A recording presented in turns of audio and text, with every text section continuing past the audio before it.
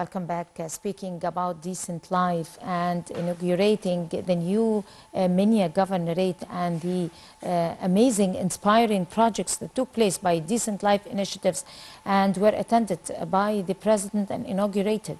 The president was received warmly by people in Upper Egypt and especially in Al Masara village.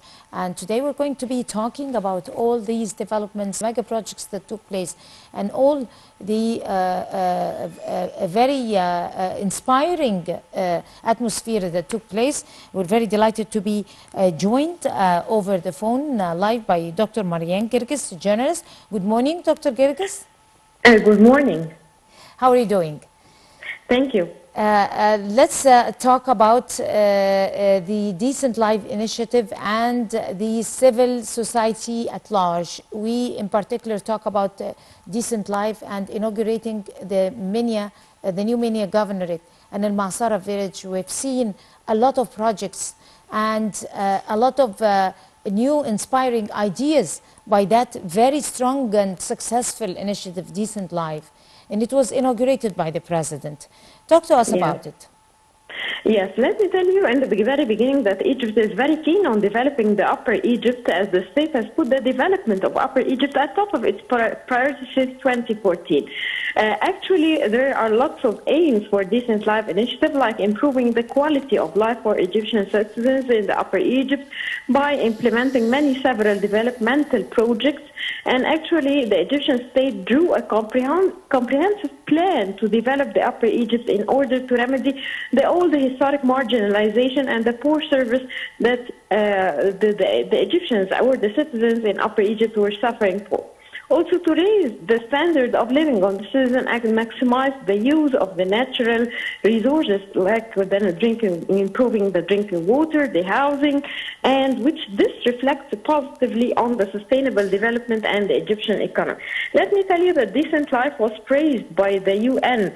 And uh, the UN said that it provided many job opportunities so far by supporting the medium and small enterprises. And as we know, of course, it was launched at the first stage of uh, uh, Decent Life in 2019 as one of the directives of President Abdel Fattah el-Sisi.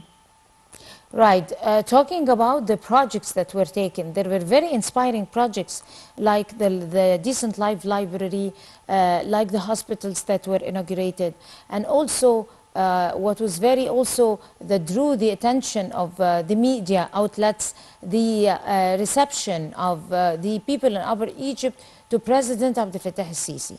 He made several important uh, uh, statements uh, during this visit. Talk to us about it.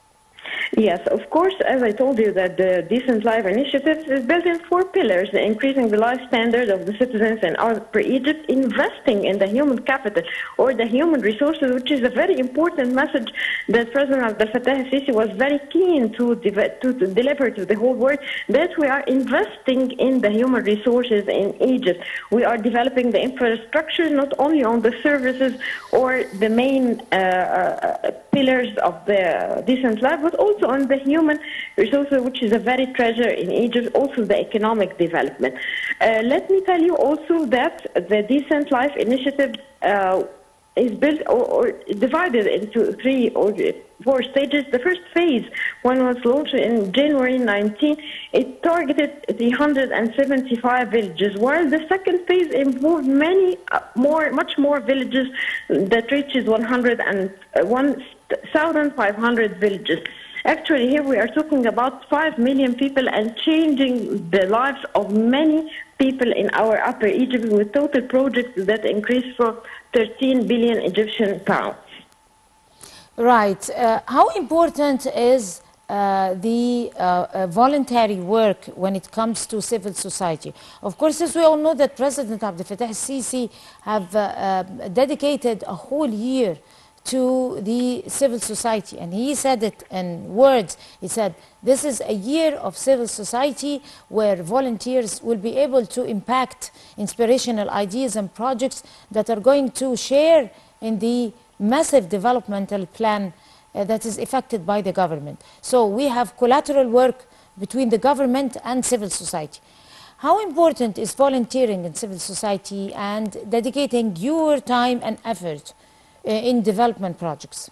Yes, of course, decent life is shared by the governmental sector, the private sector, and many non-governmental associations or the civil, uh, the civil uh, society. Uh, also, let me tell you that this share or this collateral work and this cooperation is reflecting very good, and we are seeing many volunteers from the youth that's sharing the Decent Life initiative, and which is reflecting very well on the uh, the fruits of the Decent Life initiative, empowering women, empowering the people with special needs, especially also empowering women economically, especially the the breadwinners and the divorced, training them and giving them the opportunities to share in the medium and small and uh, the micro enterprises. As I told you, this is the very uh, core of the human resources development and economic development, as uh, Prime Minister. Mustafa Madbouli, Dr. Mustafa Madbouli said, the decent life targets three pillars or three targets, the economic development, the human resources development, and the place development, which will, of course, increase the GDP, the production, and increase the exported goods, the Egyptian exported goods in Egypt. Right. Uh, also, among the important statements that were made by President Abdel Fattah el-Sisi is that the uh, military confrontation between Russia and Ukraine have affected great economic crisis worldwide that prevailed, and Egypt is suffering the least. Um, we have, uh, uh, I mean, observed economic crisis in in the UK, the United Kingdom, in the United States, and in France, and in other countries, even in Germany. So, uh, talking about uh, the economic crisis, which some opposition are trying to convince the people that there is a huge economic crisis in Egypt, which is not true. Uh, uh, he talked about raising the pensions and raising the salaries for the uh, government citizens.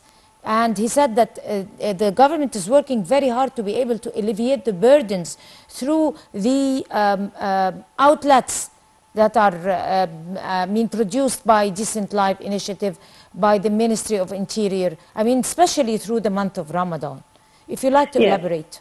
Yes, of course, this is the huge economical crisis on all over the world, not uh, especially in Egypt, and we are seeing the inflation percentages in all the the big countries, as you said, in UK and the United States, and everywhere we can see the inflation and the economic percentages are increasing all over the world, which is not only present in Egypt. But in Egypt, we are trying to face this economic crisis.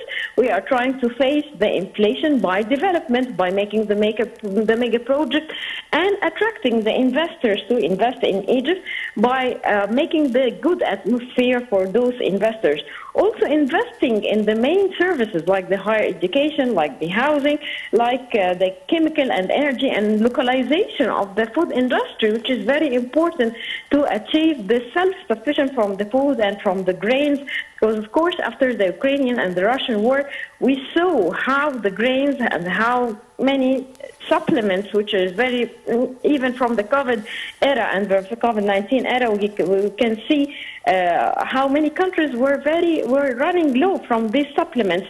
So achieving the self-sufficiency and localization of these industries like the chemical energy, food, pharmaceuticals, materials, textiles, we are seeing that the government and the Egyptian government is helping and is supporting the investor and is supporting the localization of these industries, but like the golden license that the President Abdel Fattah Sisi and Prime Minister said about, and they are granting them to the investors and to the national uh, uh localization of industries. Right. Also, the president have inaugurated uh, uh, another sector of STEM schools in Upper Egypt, which is very important. Talk to us about it. Yes, of course, uh, the education is a very important part that, the, that Egypt is very keen to improve, uh, even in Upper Egypt and in all our villages, like the, the Japanian uh, uh, schools, also in the higher education and many schools all over Egypt. And we are trying to change the mentality of we are trying to change the system of the education, the basic education and the higher education. Also, President Abdel Fattah many times uh, was very keen to uh, to, to say or to, to mention many things in higher education and the scientific research, which is very important now to change the scientific research. And as you know, the scientific research and higher education is very dependent on uh, the, the funding and the system of the scientific research. Right. Also, uh, uh, speaking about industrial complexes, uh, there were industrial complexes that were inaugurated in Al-Mazara village. Uh, uh, he, the president also mentioned in his statements that the military confrontation and the um, um, military conflicts worldwide and the conflict of interests um, worldwide between different countries are affecting in some economic crisis and that have uh, widely uh, reflected over uh, the food security and other types of crisis. The food security is prevailing, of course, and that's why uh, the, the, president and the Egyptian administration and the government is keen on establishing a foundation of food industry uh, to secure the food needs uh, for the citizens and the nation. Talk to us about the government's efforts uh, in this particular domain? Yes, as I told you, it's enough for us to be a consuming society, and we need to be a producing society, especially in these hard times and the very hard times that the, the whole world is facing and difficulty to obtain, even in the supply chains and obtaining the grains. So uh, Egypt was very keen to uh, to achieve the security in the food security and the energy security, which is very important. I always say that this is the safe triangle for any citizen: the food security, the water security, and the energy security. Uh, as we saw uh, in uh, the inauguration of Al Masara, which is the very typical village and the first typical village in Egypt that the Decent Life Initiative achieved 100% of all its projects in Al Masara, we saw that the Egyptian government was towering the infrastructure, the housing, the clean water, sanitation, health, education, youth centers and only and also the optical fibers for internet, which is uh, very important in decreasing the developmental gap between the villages and between the new uh, uh new cities, uh, uh, cities like the 24 new cities. Uh, for securing the, uh, the, the food, I think Egypt is increasing its production, increasing the agricultural area, which is very important for in the villages and in the upper Egypt. We can get benefit from all the, the, the agricultural land that's not used. That is not used? Yes. Right. How important is uh, uh, those particular uh, projects in um, securing the job opportunities for youth, job opportunities uh, for women and for people of low income brackets to uh, alleviate uh, their livelihoods and their living standards, especially that there are infrastructural projects affected all the way to Upper Egypt and all over Egypt. There is industries that is affected. There are, there are energy projects that have also been inaugurated, of course, and we would like to, we would have a whole episode to talk about it. So the importance of creating such jobs not only lies in the fact that these, job, these uh, projects are affected, but also creating job opportunities to citizens. Yes, of course. As we always say that Egypt uh, is responsible for uh, uh, uh, for 1 million uh, job opportunities obliged to one job opportunities every year because of the increase in the Egyptians every year, and as I said, to the, the, the president, the Fattah Sisi, is very keen to uh, to make one, 1 million job opportunities and in many in many sectors and in many fields for example we can say in the, the success of decent life initiative that it offered many job opportunities for example in the field of electricity by implementing projects for more than 24 billion Egyptian pounds including the distributing building transformers median low voltage poles raising the efficiency of the transformers and also it offered many jobs in education sector, which helped many women and many breadwinners, and in developing even in the children characters, and and offering many job opportunities for the youth every year. Right. Uh, Upper Egypt in particular is one of the most strategic uh, parts uh, of Egypt and it could also be one of the most success, successes when we are applying an economic reform plan or a developmental uh, project or something. Talk to us about the importance of Upper Egypt on the map and how important is it to start with Upper Egypt to develop society in Egypt. Of course, Upper Egypt is very rich with many agricultural areas, with many areas for making industrial complex.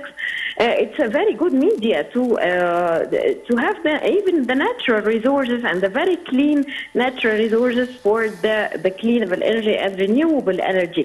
Let me tell you that I can see that Upper Egypt can be many projects can be carried out in the Upper Egypt, and to receive the escaping investments from Europe, we cannot deny that during this hard time in the Ukrainian-Russian war, that many uh, industries faced many uh, challenges in Europe, and these investments may may be shut down in Europe. So we can uh, uh, receive this small investment from the small and the micro and the medium uh, enterprises. And I think investing and the industry is the only hope to get out of this economic drop or the economic crisis. Mm, right. So, uh, uh, also talking about uh, uh, those particular uh, uh, projects that were taken and the future projects also, from your own points of view, what are the major needs for parts like Upper Egypt and Al Mahsara village, for example? We have overcome, we've overcame, I mean, those challenges in Upper Egypt, but we still have many more, like Al Mahsara village. So, talk to us about uh, the different needs of people that uh, initiatives like Decent Life meet every day. I mean, there are needs for uh, people like that. So, talk to us about the different needs and the different challenges that are posed, still posed for uh, um, Decent Life and other, um, I mean, similar initiatives. Yes, I think uh, the Decent Life Initiative is aiming or is tar- targeting all the villages uh, across Upper Egypt to be like Al Masara. As I told you, it's the typical village, achieved 100% from the Decent Life Initiative. But still, the challenge that's facing the, the Egyptian government sanitation and providing clean water to all the villages all over the Upper Egypt, which is not a very easy thing to achieve in small time. But we, of course, through the three stages of the Decent Life Initiative, we are aiming to have Al Masara all over the Upper Egypt and all over the villages of Egypt in decreasing the developmental gap between uh, those villages and between the urban areas. Right. Uh, also, uh, in addition to Upper Egypt, there are still in the agenda of uh, uh, Decent Life many other parts on the map um, um, which are which hold similar aspirations. If you like to elaborate. Yes, uh, of course, the agenda, not even of the Decent Life Initiative, but the agenda of the Egyptian government 2030 and sustainable development is very important to achieve, and this is uh, this goes parallel with the, the UN uh, aims and the sustainable development of the UN, and for this, uh, as I told you, the Decent Life Initiative is very uh, parallel with the aims of the UN. For this, the UN and the United uh, the United Nations is praising uh, all the efforts of Decent Life Initiative, and uh, we are increasing even the efforts and implementing the Decent Life Initiative not only in Egypt but also for Africa. And we here we are exporting the policy, which is the top of the success for the Egyptian agenda. Right, you're very right. Uh, Egypt have retained its leading role, uh, not only uh, in the neighboring countries, but in the whole of Africa. And what Egypt is doing through voluntary work and uh, civil society is also doing for other uh, uh, African countries inside the continent who are in need for such help. But talk to us about the idea of civil society and the idea of civil work and how important is it to share now in modern life and that was, uh, thanks to God, it was only initiated by President Abdel Fattah Sisi as the first Egyptian president to initiate the civil society as one of the important sectors on equal foot with the governmental sectors. Do you agree with me?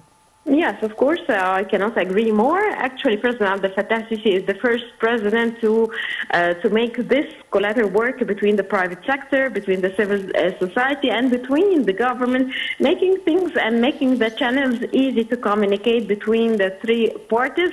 Also, uh, he's very uh, he is encouraging youth to share and to volunteer in Decent Life initiative and all the presidential initiatives, not only the Decent Life, but also all the presidential initiatives. Initiative. Right. They are opening the port to receive volunteers from the youth in all aspects of the work.